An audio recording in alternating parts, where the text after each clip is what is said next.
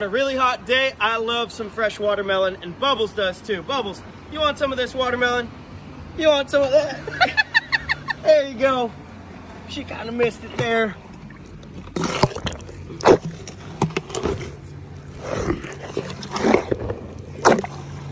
That's all good.